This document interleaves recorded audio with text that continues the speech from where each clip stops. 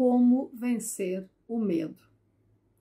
Como evitar que ele te paralise ou com crises de ansiedade, ou com fobias, ou simplesmente não deixando que você faça aquilo que você pensou que devia fazer, procrastinando, fazendo com que você não vá porque tem muito medo. Bom, como podemos vencer o medo? Eu sou Daniela Franzen e a minha especialidade é ajudar as pessoas a ultrapassarem os seus medos. Tem sim como você ter uma vida mais livre e mais tranquila com aqueles medos que são necessários para que a gente siga vivendo e deixando esses outros medos exagerados para trás.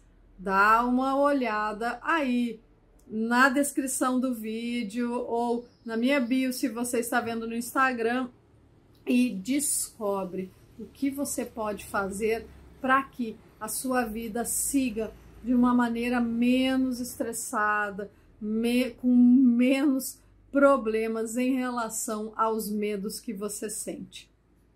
Te aguardo.